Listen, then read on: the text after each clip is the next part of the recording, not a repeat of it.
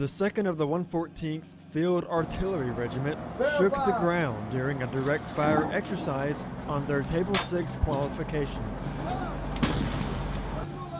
The 114th is part of the 155th Armor Brigade Combat Team and is here at Camp Shelby for their Exportable Combat Training Capability exercise.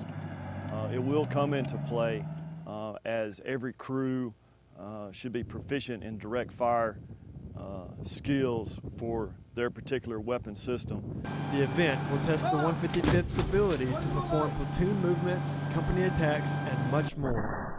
Reporting for the 102nd MPAD, I'm Army Sergeant Tim Morgan.